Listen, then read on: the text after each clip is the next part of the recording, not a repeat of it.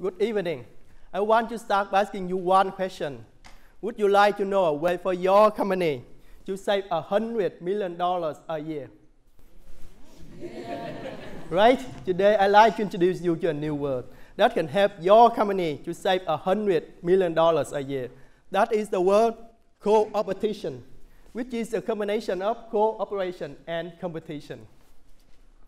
A few months ago, I read a report published by PwC saying that the Port of Auckland has a transportation hub with a capacity utilization rate of only 20%.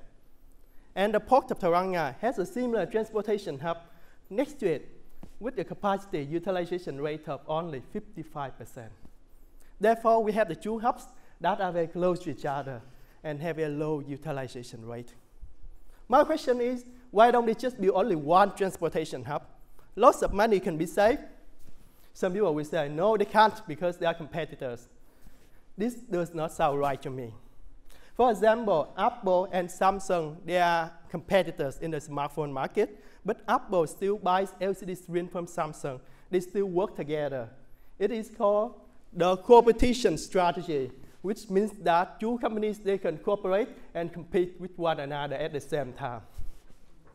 My research objective is to find out potential areas for the two ports to work together to reduce transport costs. For example, they can share the transportation hub to prevent duplicate investment, or they can cooperate on empty container movements to reduce costs and emissions. To achieve my research objective, I will first interview key managers in the two posts and then build a mathematical model to quantify the benefits of co-opetition. Then why is this research important and related to you? Ports are an important link in the transport system.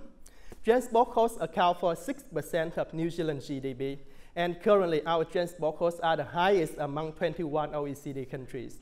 If by helping the two ports work together, we can reduce transport costs by 1% only. How much money can be saved? $100 million a year. We could use that money to build another Auckland hospital or buy a 100 houses.